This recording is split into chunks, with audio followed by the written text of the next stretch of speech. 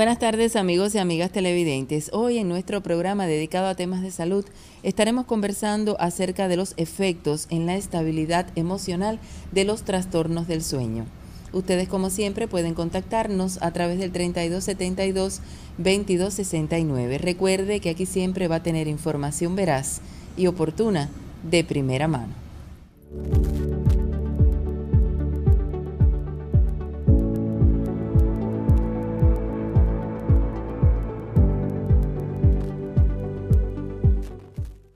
Y qué bueno poder conversar otra vez en nuestro programa con la doctora Anglis Arias Ponce de León, especialista de primer grado en psiquiatría. Buenas tardes y bienvenida.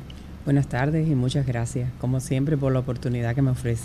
Cómo no, la oportunidad es nuestra y de los televidentes poder dialogar acerca de temas como este, de los trastornos del sueño, que sabemos le afecta a muchas personas aunque no todas acudan a un especialista. Así es, es muy frecuente en nuestro medio esta problemática. Y también en determinadas etapas de la vida, ante determinados procesos, pero bueno, de todo eso vamos a estar conversando más adelante. Yo le propongo a usted y a los amigos y amigas televidentes comenzar con la primera sección de nuestro programa de primera mano.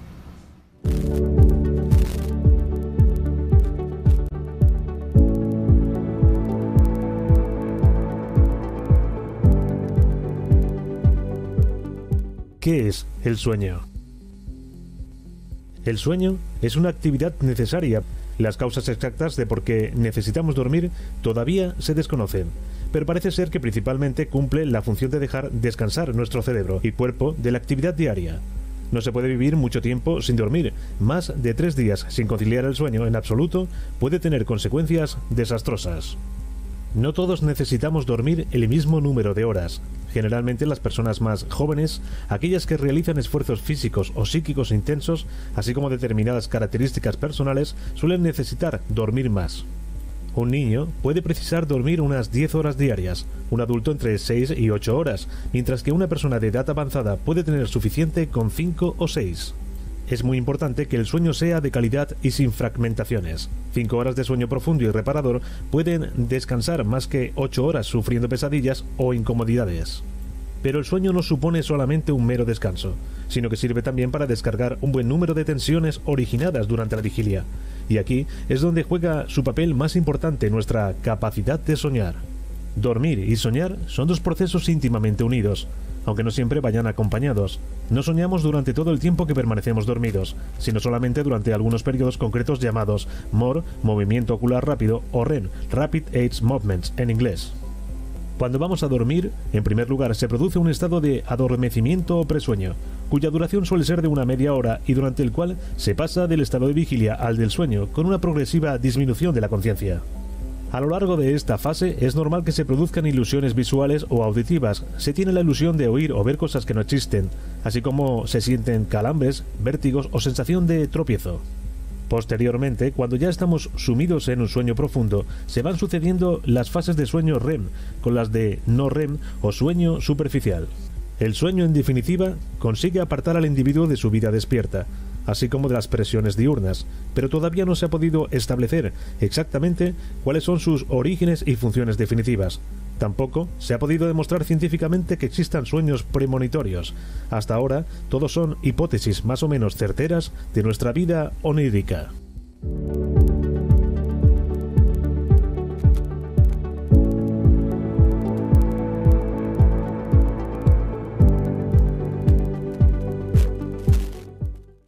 Doctora, ¿es frecuente que las personas acudan a las consultas, a los servicios especializados por trastornos del sueño? Sí, porque bueno, dentro de la, de la parasomnia, que es uno de los tipos de, trastornos del sueño, se encuentran precisamente las enfermedades asociadas a trastornos psiquiátricos que están relacionadas con el sueño y se encuentran también las enfermedades médicas asociadas a trastornos del sueño y también está la ingestión o el uso indebido de sustancias psicoactivas, ¿no? que esto también puede provocar trastornos del sueño. Y entonces, dentro de estas entidades, pues las personas generalmente van a la consulta por estos problemas, pero está incluido el insomnio en esta, entre los síntomas ¿no? que, manifiestan.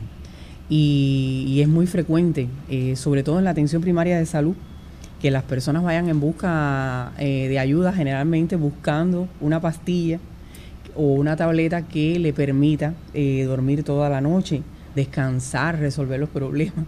Y realmente esa tableta no existe. Entonces eh, es muy importante, más que buscar la tableta que te permita dormir, es buscar la causa del insomnio. precisar esto para entonces poder ubicar el tratamiento en función de esto.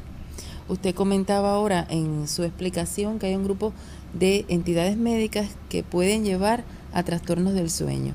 ¿Se pudiera mencionar alguna? Sí, esto es muy importante saberlo porque hay enfermedades, por ejemplo, como la hipertensión arterial, cuando está mal controlada, que puede provocar insomnio. La diabetes, porque la diabetes provoca dolor, eh, eh, o sea, la neuritis, la famosa neuritis, y por los trastornos vasculares que provoca y por el daño ¿no? en diferentes órganos eh, del cuerpo pues puede provocar insomnio en algunos pacientes.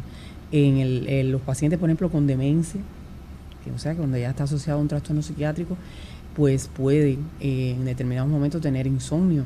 Eh, hay enfermedades del sistema articular que provocan dolor y entonces el dolor puede ser una causa de insomnio.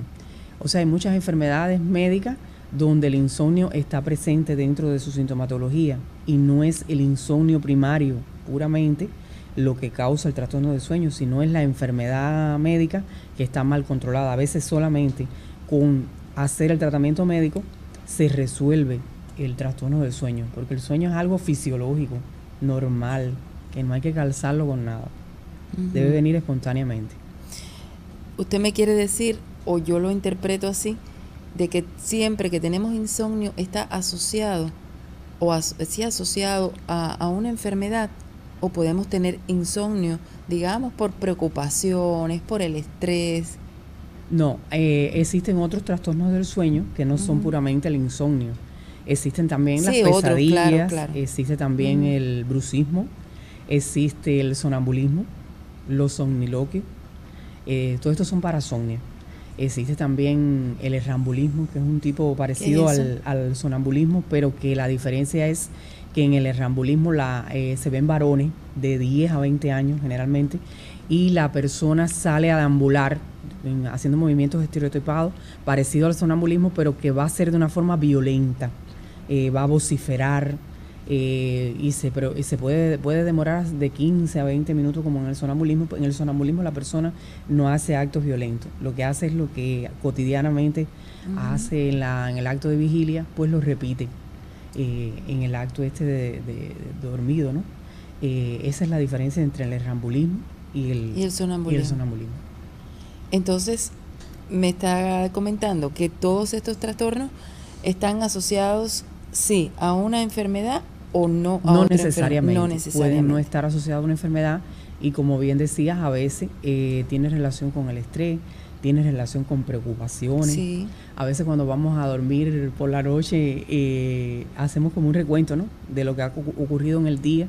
Eh, yo pienso que no se debe hacer asambleas de balance a esa hora y mucho menos eh, hacer el plan de trabajo para el día siguiente, ¿no? Porque la vida cotidiana es muy cambiante y a veces planificamos cosas que no se pueden cumplir porque no están en nuestras manos. Entonces yo pienso que el, horario del sueño es algo eh, sagrado que debe ser para descansar, no para entonces ocupar la mente con tendencias, porque eso te puede llevar a estar despierto toda la noche. Y para dormir bien, a ver, ¿qué, qué, es lo que se recomienda? Algo que se conoce en el argor médico, como eh, la higiene del sueño, que es muy importante conocerlo, ¿no? Y que no requiere medicamentos ni, ni tener un conocimiento especial. Eh, la higiene del sueño va desde que, desde el momento en que ya nos disponemos a dormir, evitar todo aquello que nos pueda alterar nuestro sistema nervioso.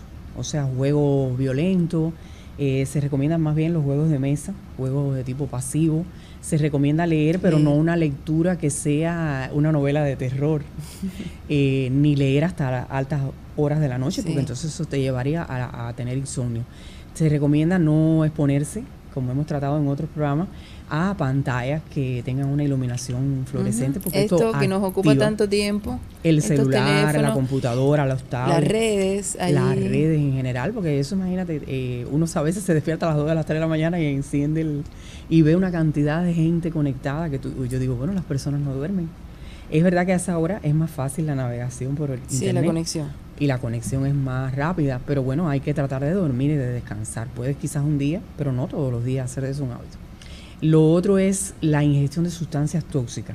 A ver, el café, que tanto nos gusta, debe de ingerirse hasta mediodía, no más del mediodía y a no ser bueno que vayas a una actividad social que lo merite, porque bueno, en la vida no se puede ser rígido.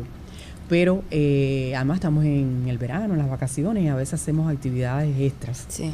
Eh, la ingestión de bebidas alcohólicas, la ingestión de cualquier sustancia que pueda eh, alterar el, sistema nervioso. Se, se, dice que bueno, se pueden utilizar infusiones de algunas plantas medicinales que sí tienden a inducir sueño, como es el tilo, la recedad, la pasiflora son eh, sustancias naturales que sí pueden ayudar a mejorar el ciclo del sueño. Lo otro que se recomienda dentro de la higiene del sueño es a, que la habitación esté ventilada correctamente, porque a veces eh, ahora con este problema que hay con los mosquitos, pues a veces tendemos a, encerrarnos en la habitación. Pues no, es preferible poner un mosquitero y abrir eh, las ventanas para que el aire circule. Es muy importante también la iluminación. se plantea que las luces activan el sistema nervioso central. Entonces no debemos dormir con luces encendidas. Y si lo vamos a hacer porque queramos iluminar una parte de la casa, por ejemplo el baño, pues hacerlo con una luz tenue. O utilizar eh, antifaz eh, para que no te afecte los ojos eh, la iluminación. Lo otro es la ropa que utilizamos para dormir. No debe ser ropa apretada, no debe ser ropa ceñida al cuerpo. Debe ser lo más ligera posible y que de acuerdo a la estación del año. Si hay frío, pues abrigarnos. Y si hay calor, pues ropa que no sea calurosa. Y también es importante, si nos, nos sentimos muy tensos, podemos utilizar eh, algún ejercicio de relajación, que hay muchísimo en, la, en el internet, podemos descargar algunos, que son ejercicios más bien repetitivos, que pueden ser verbales, pueden ser imaginarios y pueden ser también de movimientos de, contracción y relajación de algunos grupos musculares y algunos ejercicios que son respiratorios. Esto no es que te dé sueño, esto es que te prepara para el sueño. Y se puede también caminar dentro de la casa, eh, si es posible descalzo o con calcetines si estamos, o en medias, si estamos en época de invierno. Hay casas, por ejemplo, en países, en otros países que tienen alfombra, entonces las personas pueden hacerlo descalzo. Esto también ayuda a caminar, a caminar dentro de la casa, a relajar la musculatura. A veces no nos dormimos porque estamos muy, tensos. Y entonces esto permite que los músculos se relajen y bueno, disponernos para un sueño reparador. He leído también la posibilidad de darse un baño. Con agua tibia. Con agua tibia, que igual relaja. Si hay mucho calor puede ser con agua fría, porque eso refresca. A veces no nos dormimos porque la temperatura que tenemos corporal es demasiado elevada por el calor al que estamos expuestos. Eso también puede ayudar. Conversar de temas agradables, hacer el amor, que a veces nos olvidamos, estamos muy cansados y nos olvidamos de hacer el amor. Hacer el amor es relajante también, porque tiene una fase de excitación, pero después tiene una fase de relajación. Vamos a seguir conversando de este tema interesante que a todos nos toca, porque quien no ha tenido en algún momento de la vida o en alguna etapa de la vida eh, insomnio u otro trastorno, que de eso vamos a, a conversar, porque incluso recuerdo ahora mismo, doctora, alguna amiga hace muy poco hablando de que uno de sus hijos eh, hablaba mucho por la noche, eh, se levantaba, debe acudir a, a, un especialista. Sí. De eso vamos a conversar más adelante. Continuamos con otra sección en nuestro programa de primera mano.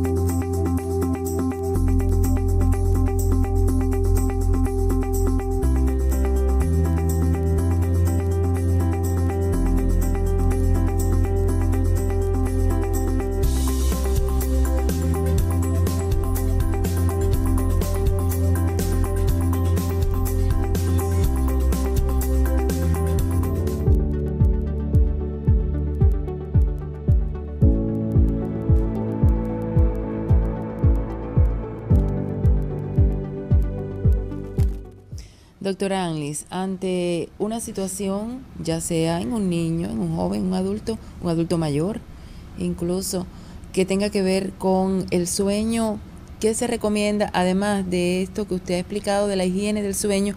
Pero cuando ya vemos que es algo un poco más allá, que no resolvemos la situación, ¿verdad? ¿Qué debemos hacer? ¿Qué consultas debemos visitar? Sí, cuando ya se prolonga el trastorno en el conciliar el sueño, sí se debe buscar ayuda especializada. En el caso de los niños, es importante comenzar por el psicólogo porque los niños generalmente su sensorio es libre y no tienen esos grandes problemas, ¿no?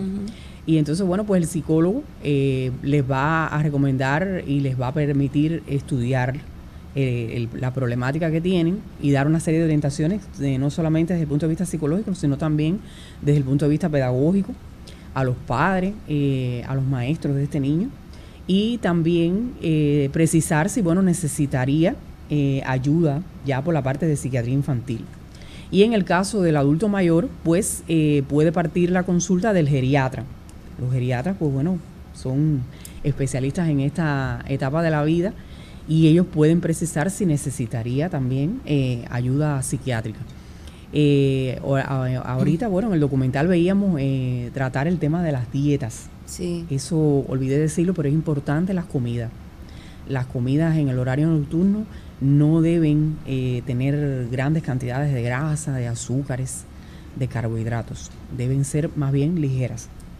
Se dice que se debe desayunar bien, se debe almorzar bien, pero ya al horario de la comida debemos ir disminuyendo la cantidad de, de alimentos con mucha energía, con, mucho, con muchas calorías. Con muchas cantidades también. Exactamente, porque esto no permite que el metabolismo se haga, o sea, la digestión es un proceso que lleva horas y entonces esto interferiría en el proceso del sueño. Esto es importante también. Y es importante también el ocuparse, no preocuparse tanto. Eh, hay una serie de preocupaciones a veces que tenemos que si nos ocupáramos de resolverlas muy puntualmente, pues no estaríamos tan preocupados. Y otras preocupaciones que a veces no podemos resolver. Por supuesto, y que hay que y otras que eh, quizás pensamos mucho en el futuro y al final no sabemos y entonces en definitiva, pero a ver cómo manejar esos pensamientos porque bueno, se dice, bueno, no, no lo hagas, pero ¿cómo? ¿Cómo dejo de hacerlo? Los pensamientos a veces vienen parásitos, vienen parásitos, pero bueno, para a veces dominar los pensamientos, los ejercicios de relajación son muy útiles, porque los ejercicios de relajación al final a veces llevan visualizaciones que te llevan a imaginar cosas eh, como si estuvieras viviendo una película, ¿no? De un lugar agradable, eh, visualizar una, una, imagen de alguna persona que te sea grata o de un lugar que has visitado y eso te va un poco apartando esa idea fija que tienes que te ha venido de, como digo yo, te ha caído en paracaídas sin esperarlo y que te tiene allí perturbado, es una idea obsesiva, rumiante allí que no te deja eh, despejar tu mente. También pensar positivamente. El pensar positivamente sí depende de uno. Uno puede tener una idea mala sobre algo y uno mismo tiene que inculcarse ideas nuevas. Además, cuando uno piensa de manera negativa, es como si estuviera deseando que eso malo le pasara, eh, porque la energía negativa se irradia. Y entonces eh, pienso que se urge pensar en cosas buenas para ir un poco desplazando todas estas ideas que nos tienen perturbados. Realmente hay que dormir bien, es necesario dormir bien. Ahora, ¿cuántas horas debemos dormir?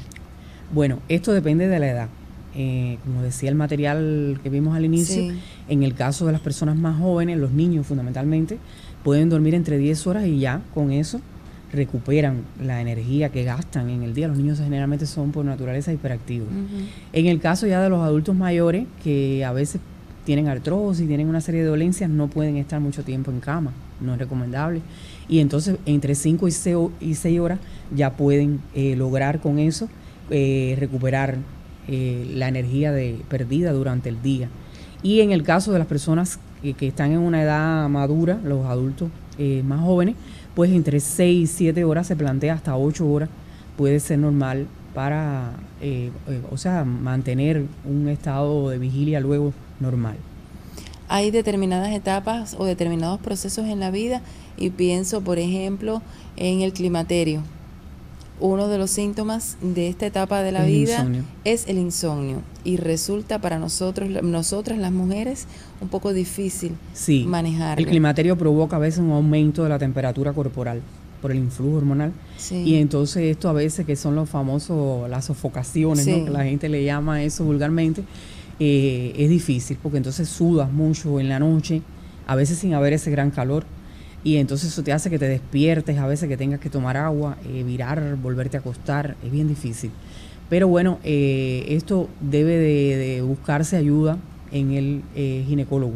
Los ginecólogos te mandan a veces tratamientos encaminados a mejorar esta, este estado, que es también normal, forma parte de, la, del proceso fisiológico de las mujeres, o sea, del sexo femenino, y pueden ayudar a mejorar eh, estos síntomas que son tan desagradables. De y no tener que recurrir a, los psicofármacos. Claro, mm, usted mencionaba ahorita, eh, las infusiones son muy recomendables. Los psicofármacos deben dejarse para los pacientes psiquiátricos, puramente. O sea, las enfermedades psiquiátricas que sí llevan un control estricto de, del sueño porque eh, eh, o sea, traerían como consecuencia la descompensación del trastorno psiquiátrico en pacientes adictos pero ya eh, en los pacientes que son normales no es recomendable, porque crean adicción, crean hábitos y además se sabe toda la, dificultad que hemos tenido en los últimos tiempos con una serie de medicamentos, no solo los psicofármacos. Vamos a ver el último material de la emisión y luego continuamos conversando acerca de los trastornos del sueño.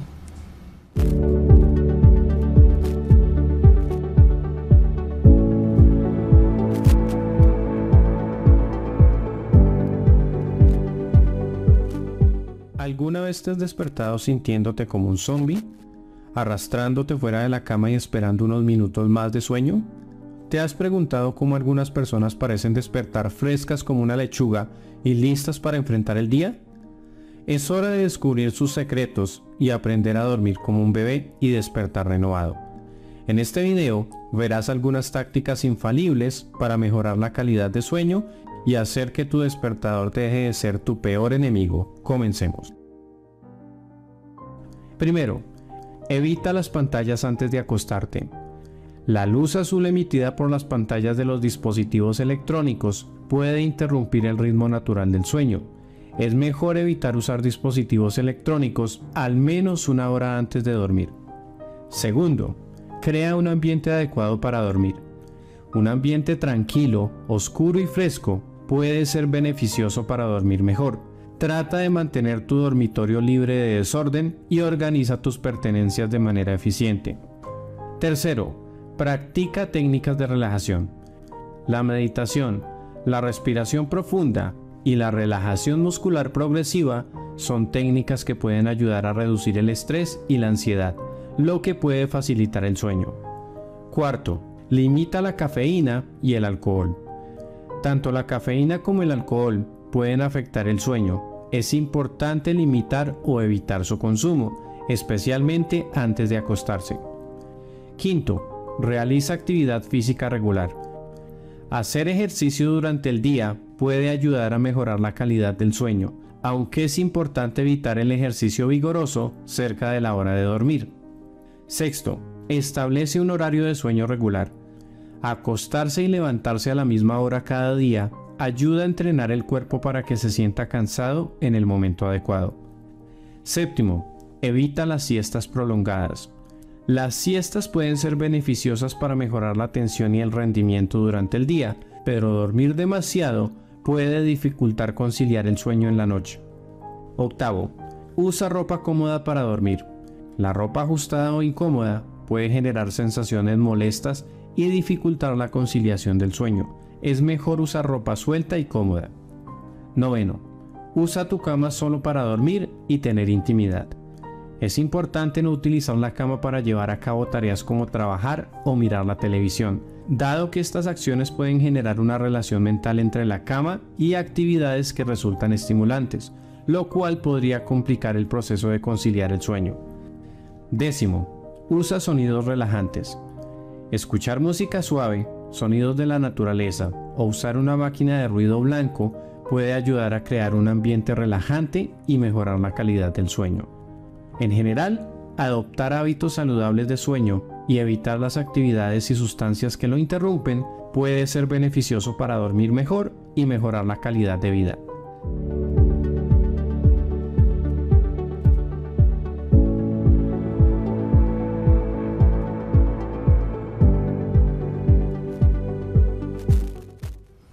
Todas estas recomendaciones, más todo lo que usted había explicado anteriormente, íntimamente relacionado para tener una buena higiene del sueño, supongo que es clave para evitar, por ejemplo, tener un insomnio crónico.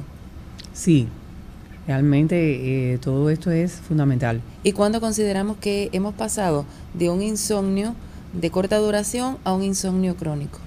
Ya cuando, eh, a pesar de todas estas medidas, persiste el trastorno del sueño. Ahí sí no nos quedaría otra alternativa que, bueno, recurrir a un especialista y buscar ya ayuda en la medicación, que no debe ser prolongada, pero bueno, sí debe de proteger el sistema nervioso y corregir eh, el trastorno. Existen medicamentos que inducen sueños, que son los, llamados hipnóticos, ¿no?